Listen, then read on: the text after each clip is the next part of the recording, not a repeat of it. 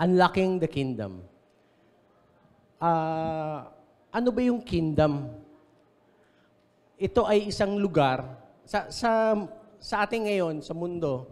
Iilan na lang ang kingdom, 'di ba? Ang kingdom ng Saudi Arabia na meron silang hari at ang Great Britain na meron silang queen.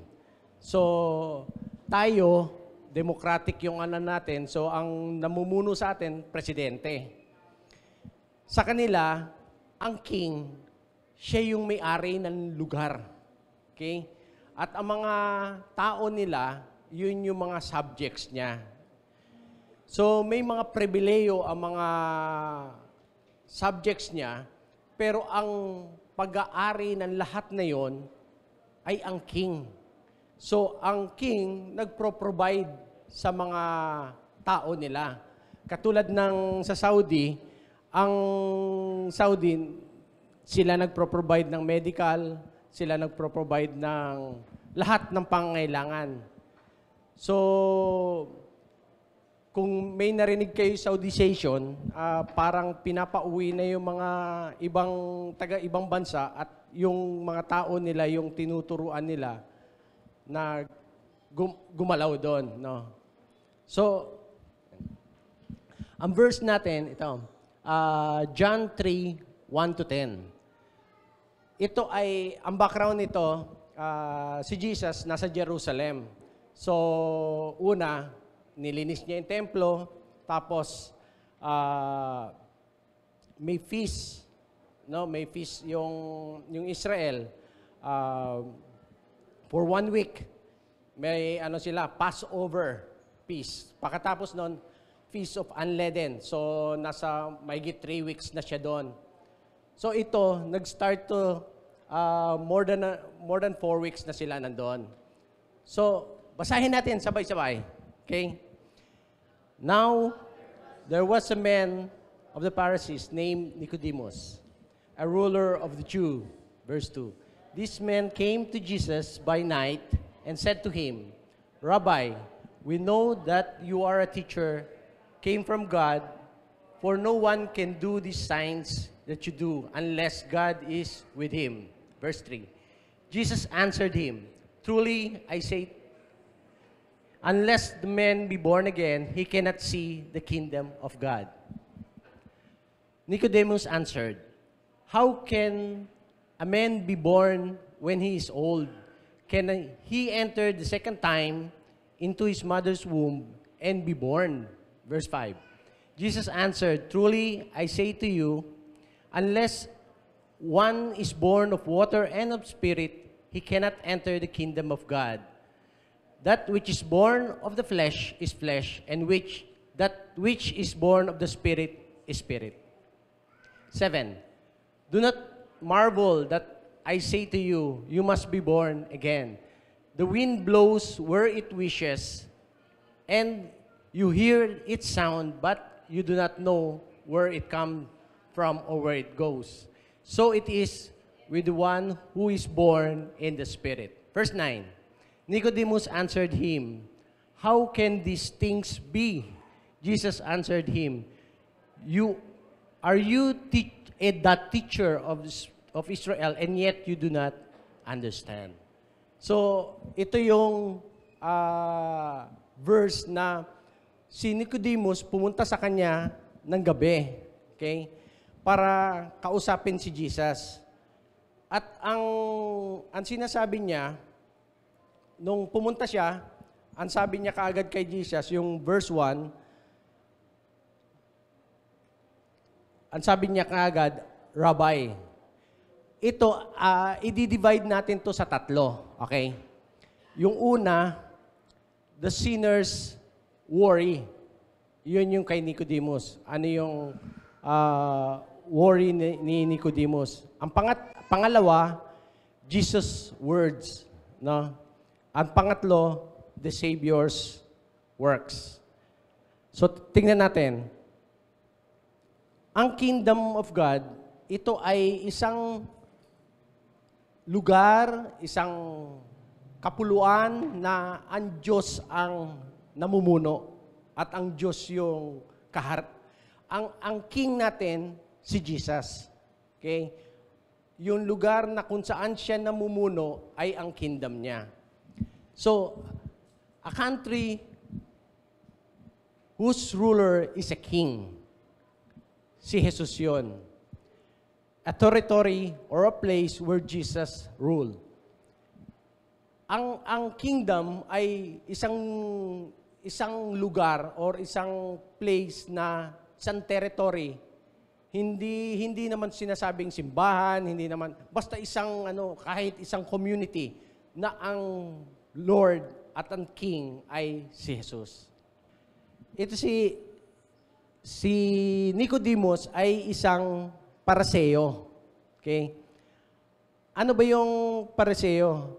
Siya ay ruler of the Jews. Ah, yung panahon nila, sila yung Supreme Court, sila yung nagdi-decide para sa Israel.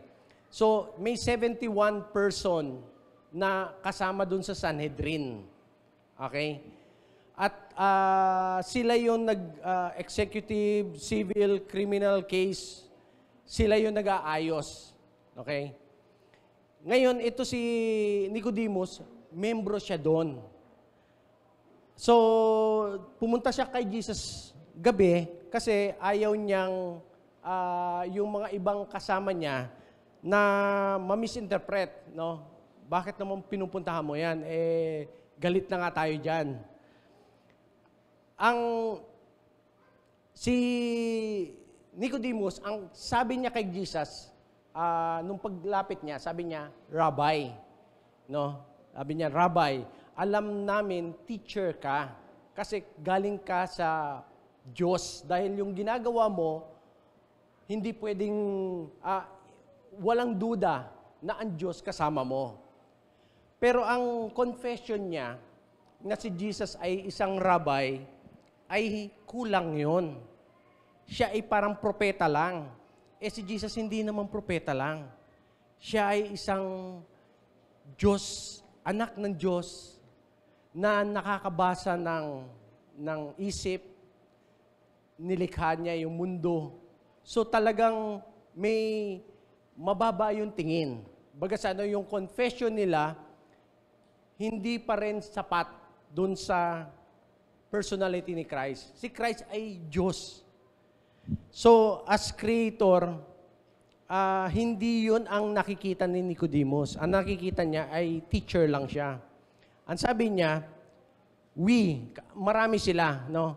Kami, na alam namin na galing ka sa Panginoon dahil yung ginagawa mo, imposible. Ngayon, punta na tayo doon sa Jesus words. Okay? Ang ang Panginoon, hindi na niya sinagot si Nicodemus doon sa sinasabi sa kanyang rabbi, no? Hindi hindi na niya sinagot. Tinignan na niya kaagad yung puso mismo ni Nicodemus. Sinasabi ni Nicodemus sa kanya, Rabbi, pero ang sa loob ni Nicodemus, ito yung tanong niya. Lord, paano ako papasok sa karyaan ng Diyos? Ginawa ko ng lahat. Ka- Kaya nga nandun siya eh, sa pinakatuktok ng, ano eh, ng Sanhedrin. Lahat ng rabbinic law ginawa na niya. Lahat ng requirement ng, ng, ng kautusan ginawa na niya. So, ang, ang nasa isip niya at sa, nasa puso niya, ang sinasabi niya, kaya siya lumapit kay Jesus, ang tinatanong, gusto niyang tanungin, ano pa ang kailangan kong gawin para pumasok sa karyaan ng Diyos? Ang Diyos hindi, si Kristo, hindi na niya hinin, hinintay magtanong. Sina, sinagot na niya kaagad yung tanong niya. So ang ang sabi ni Christ, Jesus answered him, Truly I say to you, unless a man is born again, he cannot see the kingdom of God. So ang ang sinabi niya kay kay Nicodemus, unless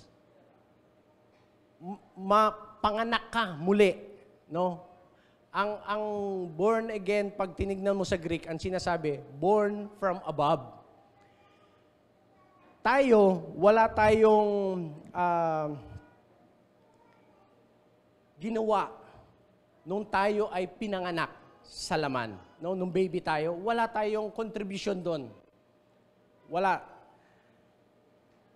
Yun ay desisyon ng magulang mo at ang Diyos ang lumikha sa iyo. Dahil ang mga magulang mo pwede ibigay yung mga traits nila no as parents. Pero ang spirito ang Diyos ang nagbibigay. So ang ang new birth ito ay pareho rin ng physical pero spiritual ang Diyos ang nagbibigay ng new birth at wala tayong contribution doon. Malinaw ba yun? Wa- Wala tayong ginawa para yung new birth mo ay magkakaroon ka ng new birth. Wala kang ginawa. It's the grace of God na pinili ka ng Diyos at binigyan ka ng pangalawang new birth. Sa salvation ng tao, dalawang, kung pwede mong ihati, da- da- dalawa ang ah, contribution ng Diyos. Okay? Sa una-una pa lang, pinili na tayo before the foundation of the world. Yun yung future. Ah, yun yung eternity past. Okay? Yung present, yun yung ating new birth binigyan niya tayo ng bagong bagong puso, okay? Bagong ah ang sabi sa sa Colossians, ah, Corinthians, you are a new creature. The old is past, everything is new. Okay? Bagong puso, bagong isip, bago lahat. So wala tayong ginawa, no? A new birth, the new birth, nothing, we cannot do anything. Wala tayong kinontribute, nag, nag, hindi tayo nag-contribute doon sa ating physical birth at wala tayong i-contribute doon sa spiritual birth natin.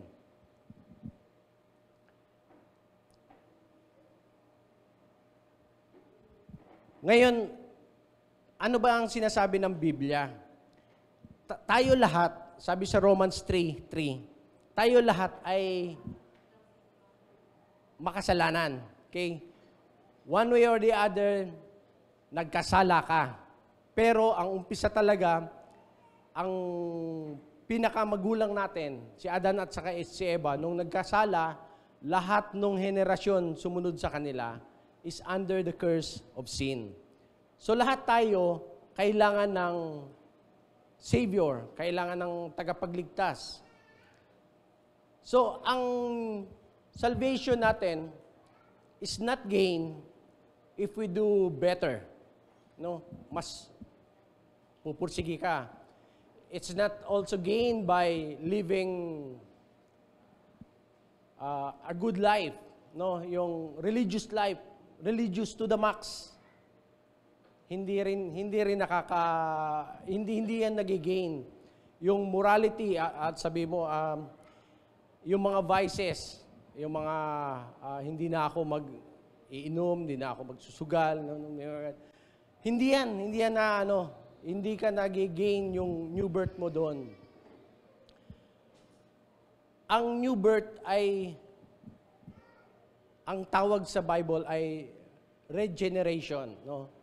Nagbago, bagong creation, bagong person ka na, bagong mind, bagong heart, bagong identity. At meron ka ng Holy Spirit. Binibigay ng Panginoon ng Espiritu Santo sa mga tumatanggap sa Kanya as personal Lord and Savior dahil yun yung initial down payment natin papunta sa langit. So, si Nicodemus, hindi niya talaga naiintindihan.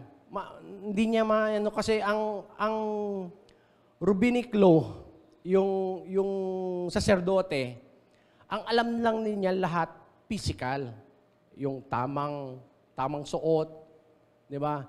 Tamang salita, tamang prayer, tamang lakad, 'di ba? Lahat nung wag gawin lahat nung dapat gawin, lahat sa kanila external. Kaya nung ini-explain sa kanya ni Christ yung spiritual, hindi hindi niya talaga makuha. Hindi niya sabi niya paano paano paano tayo dapat ah, ma-born again, born from above. Paano ba nangyayari 'yon? So, nakita natin na ang usapan nila Nicodemus halos ilang verses lang. Pero ilang oras siya at saka si Kristo nag-uusap. So parang summary lang to nung usapan nila.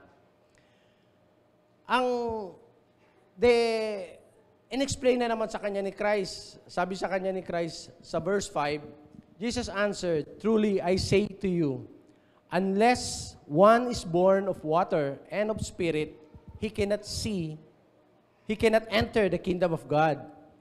That which is born of flesh is flesh, and that which is born of spirit is spirit. So, in-explain sa kanya ni Jesus, what is born of flesh is flesh, and what is born of spirit is spirit. So,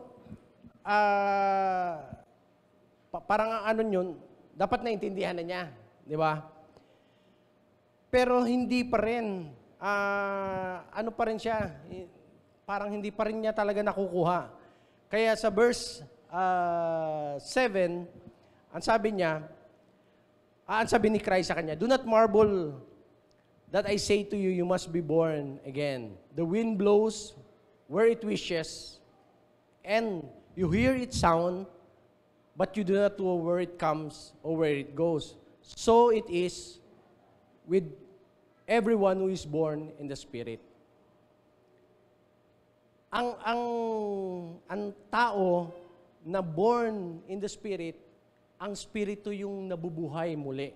Kasi nung nagkasala si Adan at Eva, di ba ang sabi ng Diyos, sa moment na kakainin mo the fruit of good and evil, the knowledge of good and evil, mamamatay ka. Namatay ba kagad si Adan at saka si Eva? Hindi, di ba? Ang spirito nila yung namatay. Ito kailangan mabuhay muli. Okay? So, from tradition, maano natin na si Nicodemus, eventually, nagkaroon na siya ng relasyon sa Panginoon. Okay? Kahit siya yung ah, parang nandun na sa taas ng mga ano, nagkaroon siya ng relasyon sa Panginoon. Isa siya sa yung borrowed tomb ni Christ. Siya nagkumuha ng katawan ni Kristo at nilagay dun sa tomb. Okay? Siya yun. So, eventually, nagkaroon na siya ng relasyon sa Panginoon. Pero ang, ang spirit, no, the Holy Spirit, na sinasabi ni Kristo sa kanya, the Holy Spirit power is the power of the new birth. Okay? Ang Espiritu Santo mismo ang nagbibigay ng bagong buhay sa atin. The indwelling Holy Spirit is the key to the kingdom of God. Siya ang nagbibigay. So yung regeneration natin, ang ang salvation, yan ang umpisa sa lahat. Yung new birth. Okay? Hindi ka magkakaroon ng pananampalataya, saving faith. Hindi ka magkakaroon ng grace. Hindi ka magkakaroon ng justification, purification, forgiveness, grace, hanggang wala pa yon. Yun ang ura-una, tapos sunod-sunod na yon. So, lahat yan ay dahil lamang sa power ng Holy Spirit. Siya yung nag indwell sa atin at siya yung nagbibigay ng buhay. Okay? Yung dating patay na spirito, siya ang nagbibigay ng buhay. Conclusion and invitation. Ang key ng kingdom of God is the new birth. The new birth. A wonderful relationship with Jesus Christ as King and Redeemer. siya yung hari natin. At siya din yung namatay para maligtas tayo dun sa ating mga kasalanan. So yun ang susi ng kingdom of God. Yun ang kailangan ng lahat no, ng mga tao. Kasi lahat tayo nagkasala. So lahat tayo ay kailangan ng new birth. Ang sabi sa Revelation, Behold, I stand at the door and knock.